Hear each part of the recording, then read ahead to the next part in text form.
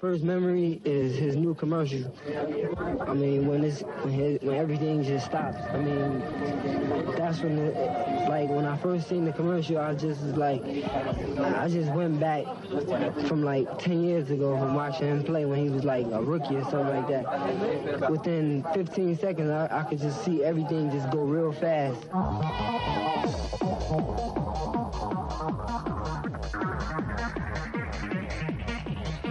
Thank you.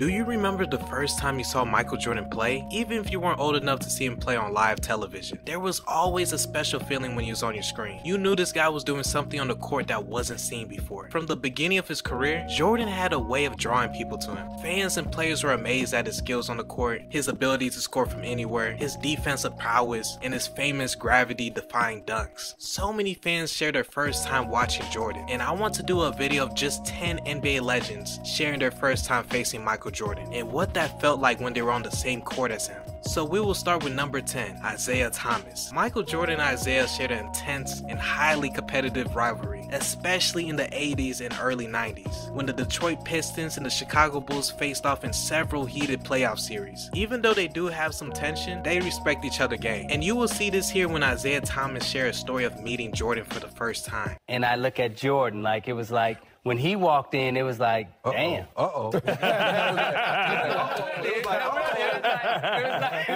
Is he for real? well, you, you, you. Okay, I remember when we first played against him. Um, it was the Olympic. Um, Oh, yeah. the Olympic 84. team Right, right. in 84. '84 in Phoenix, and they was doing the the the, uh, the pros coming to play against. Um, The Olympic you know, team. the Olympic Yep. team. And I remember Coach Knight saying, Yeah. Coach Knight was coaching to me. He said, "This one a little different now." That's what old school This one a little different now.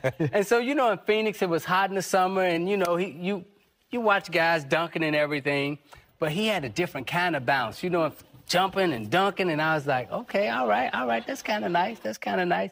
And then the game started, and this dude was so fast and so quick. He was like, oh, oh. Wait, hold it, wait. It's a PG show. it's a no, PG thirteen show, coach. but but some, some curse words are necessary for description.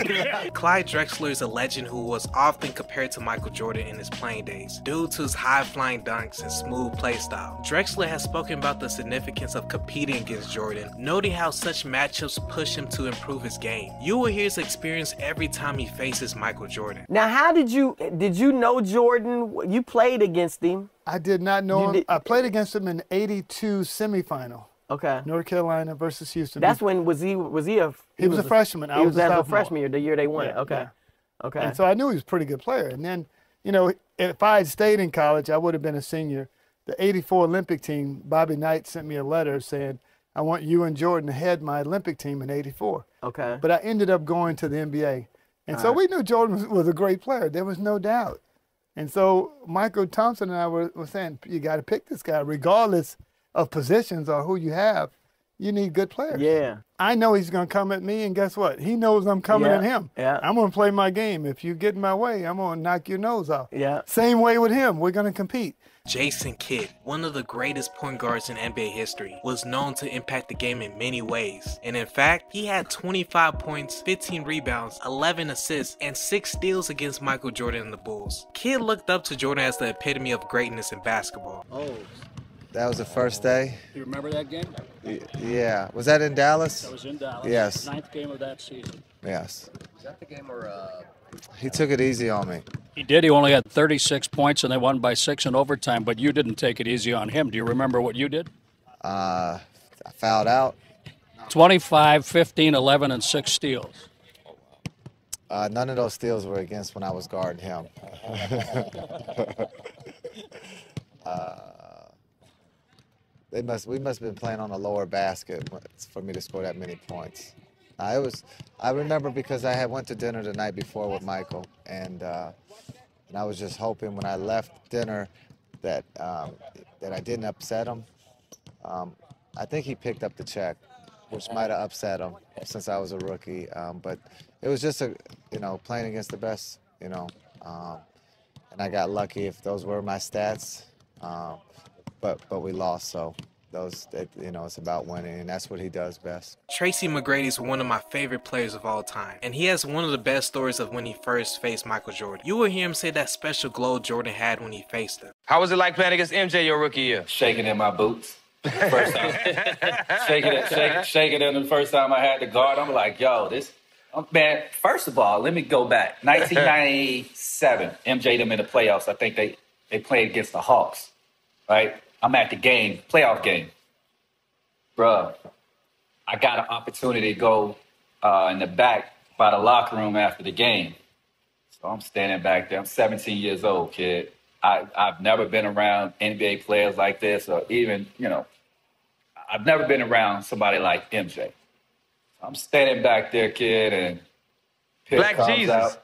Pip comes out. All these players start coming out. Mike comes around that corner. Bruh, I ain't gonna lie to you. The man had a glow, bro. I swear, Mike, Mike, dog, that shit is real. I believe it. That shit is real. Hey, hey, K, hey, KG said the same thing. You just feel his energy. Um, he don't say hey, I'm shit. telling You you, feel dog. that energy. I'm not, I'm not joking, That's bro. Black it's Jesus, real. man, I'm telling Bro, you. Mike came out, I was like, damn, bro. I ain't know what to say, man. I was like, that's MJ, dog. That's MJ. So fast forward, I'm on the court with him for my rookie year. It took me about a quarter to get over the fact that this might, right? But man, once once it wore, you know, that, that mystique wears off if you're around somebody for a long time. It wears off. It's like, okay, shit, let's get it. I damn near had my best game as a rookie playing against it. I almost had a triple double hmm. In front of 30,000. You know, we played in the Sky Dome.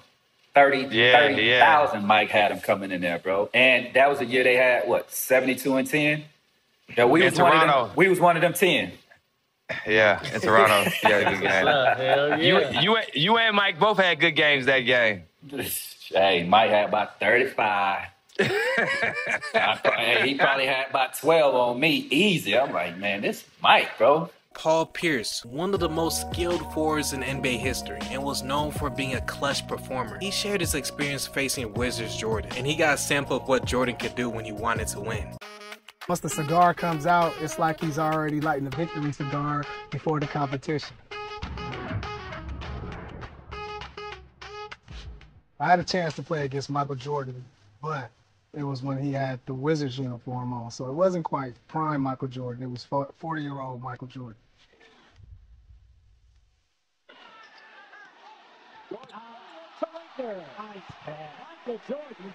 I remember he still was a phenomenal athlete. He still had great footwork, and he actually gave me about 30 points. Jordan over Pierce. He's got it. Michael Jordan equals his season high 31. So it was like my third year in the league, and uh, he was still probably one of the top 10 athletes in the game at the time. Yeah, he trash talked a little bit. You know, I remember him hitting a fadeaway, telling me you can't get to that. Here, defending. Fall away. He hit 29 for Jordan. You know, he real he really had a rivalry with Antoine Walker being that Antoine Walker was in Chicago and you know, these guys played against each other in pickup games in the summer and you know, him and Antoine Walker really uh, went at each other quite a bit. Antoine, you know, he he's one of the best trash talkers that ever played the game, but I think that game he wished he had just not said anything.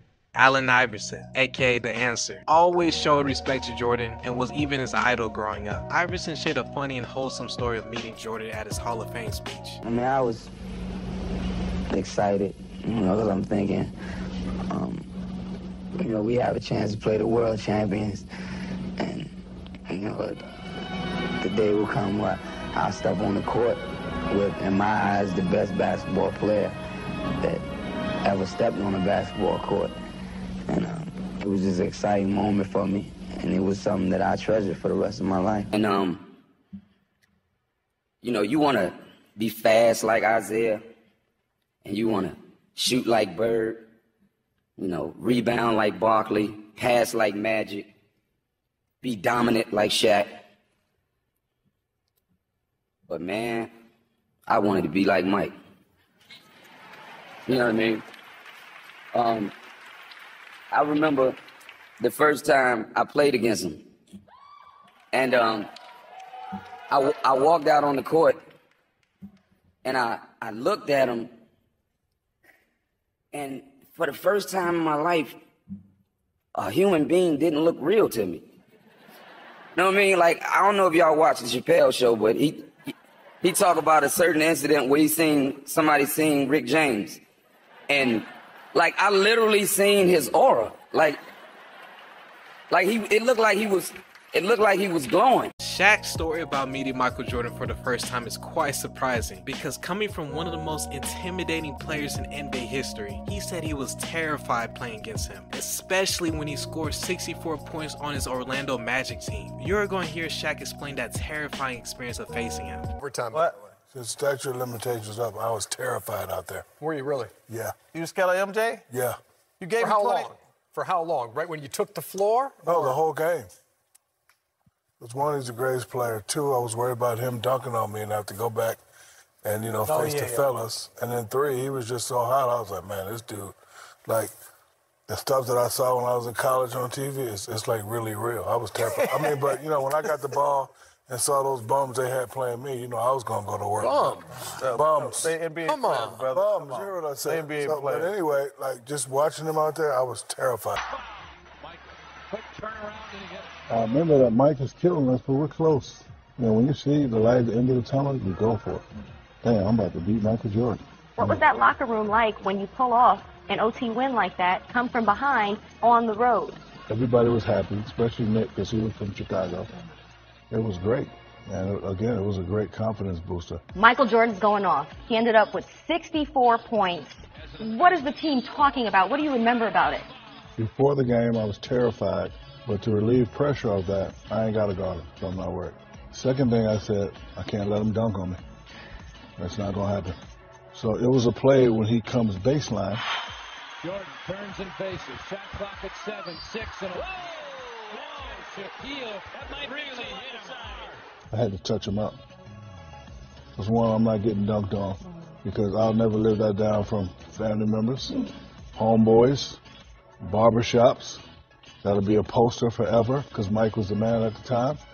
But Mike also taught me something very valuable. So when I go to help him up, he said, don't ever help nobody up. Great foul. Don't do that. I don't need your help. But I'm coming back. Don't you worry. Mike is the guy that taught me how to go to the next level. Down the line, we beat them in the Eastern Conference Finals, go to the finals. We get swept by Kenny and them. The next year, they sweep us. Walking off the court, Mike grabs me and says, before you succeed, you must first learn to fail. And that helped me out when I made the move to LA and kept failing. Charles Barkley, one of the greatest power forwards in the game, shared a funny story about when he was a sophomore in college and saw a young Michael Jordan that completely blew his mind when he was on the court. It was unbelievable that he had accepted that he was the second best player in the country already and that Jordan was a level above him. First time I met Michael Jordan, I was like, I've never seen anything like that before. Mm-hmm. I mean, it was amazing. You know, I, I was in the Olympic trials, and I probably should have made the team. Bobby Knight just didn't like me. He didn't like me because he's a dick. Um, but so you know, we had we invited like 120 players to try out for the Olympic team, and they went 100, 120, 100, 80, 60, 40, uh, 20, 16, 12. So I made it to the final 20, and driving to the airport, it was me, Karl Malone, John Stockton, and Terry Porter. And I went back to my college, and John Thompson, rest in peace, one of the greatest men I've ever met in my life. Rest in peace, Big John. He called my coach and he said, Sonny, I just want you to know that Charles was one, the second best player here. He probably should have made the Olympic team, but Bobby just didn't like him. He didn't have a reason, he just didn't like him. And my coach said, John, I really appreciate you taking the time to tell me that, blah, blah, blah. So he hangs up the phone and he says, Charles, I thought you were the best player in the country. Well, I said, I'm not. I said, Coach, let me tell you something. There's this black dude from North Carolina. I ain't never seen nothing like it. And at this time, we're like sophomores in college. Wow. I said, Coach, Coach, let me tell you something. I ain't never seen nothing like this dude in my life. He is a little taller than me. Uh, he's really lanky. He's really black, but he can outrun everybody. He can outjump everybody. And I never seen anything like it in my life. He says, What's his name? I said, Michael Jordan. I said, We hit it off really good. For some reason, we like each other. I think that we both small town guys. Uh, but I was killing these dudes.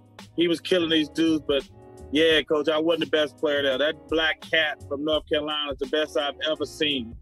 And like I say, at this point, he's just a, a sophomore in college at that time. Number two, Steve Nash. A point guard that every team dream of having. He was a two-time MVP and was in the 50, 40, 90 club four times, which is insane. He was one of the many players that idolized Jordan. Listen to this hilarious story of when he faced Michael Jordan in his rookie year. first month of my rookie season, we played the Bulls twice, home and away. First one time was at the United Center in Chicago, and I'm on the bus after the game, and Chucky Brown gets on the bus with Jordan's shoes, and I'm like, "Are those MJ shoes?" He's like, "Yeah." I'm like, "How'd you get those?" He's like, "I asked him for them," and I was like, I was thinking to myself, "You can do that?" And so, uh, two weeks later, they they come to Phoenix and we play, and there's I posted a picture on Instagram, you know, the, day of the first episode of The Last Dance, and just saying, you know, he was my hero. And there's this picture of me as a rookie and Jordan, and we're having a laugh. Uh, and what happened was I got switched on to him. You know, he backed me down in the post, did his little, you know, shake and, and hit a fadeaway on me. We go down the other end, someone gets fouled shooting a free throw. So I'm standing there as the point guard behind the shooter, and he comes over to me and he says, You were at a slight disadvantage. And, uh, you know, as a rookie, I, you know, I, it was like that moment where I was like, holy. Like I'm talking, and MJ just scored on me. He's letting me have it in a fun way. This is unbelievable. And all I could think of was Chucky Brown got his shoes. So he tells me you were at a slight disadvantage. And I turn, I go, I laugh, and then I go, Can I have your shoes after the game? And of course, sure enough, after the game, I got his shoes and all that. And I remember it just takes you back because as a guy who, who, who I hope proved was a fierce competitor in my whole career, it takes you back to what kind of mindset I was in as a rookie with Michael Jordan and how that was all secondary to this hero worship in a way. And I remember my vet Rex Chapman, who was really is a really close friend of mine, and was, you know, uh, is still uh, a good friend. Was so pissed at me that I got asked for his shoes and got his shoes. And now the last legend we have is Kobe Bean Bryant. He is the only player you can confidently say emulated Jordan's game and made it his style. We don't have to talk about how much respect they have for each other since this was his mentor. Jordan taught him everything he needed to know and he succeeded. So here's the story of the first time Kobe faced Jordan. Getting schooled for a baseline dunk the first time I matched up with him. That was that was like the coolest thing. You know, it was all the ultimate challenge going out there and playing against the Bulls. You know, guard Michael Jordan. Nothing can top that. They've made a switch already, putting Kobe on Michael. well, then the, then the education. Accelerated learning. wow. It was because I'd seen that spin move so many times, and then I knew he was going to do it. Um, but the timing on TV and then in person are two completely different things. So he just spun right before I thought he was going to spin, and I was like, "Damn, that was pretty cool." When I came to the league and matching up against him, um, what I found is I found that he was extremely open um, to having a relationship, a mentor relationship, and giving me a great amount of advice and um, an amazing amount of detail, um, strategies, um, workout regimens, and things like that. So, um, and seriously, I mean, I don't think people really understand the amount of impact that he's had on me as a as a player and uh, and as a leader. So the level of fear that he inspired in others was insane. And I would tell him, I said, when I face him, we're gonna go at it. He says, Oh, you don't want to do that. I'm like, what? Man, you don't know me, man. And so when we matched up, I think he understood that. And you know, when I was 18, my first year, he got the best of me a bunch of times. I was right there the next play. You're not intimidating me. I'm not going anywhere. And I think he saw that level of respect because I think he was the same way at 18 years old. And that common bond is, is what I think, uh, you know, where our connection was built. So I hope you enjoyed the video and tell me what was the first game you watched of Michael Jordan. And if y'all have a favorite clip here. So make sure you like, share, subscribe, and until next time.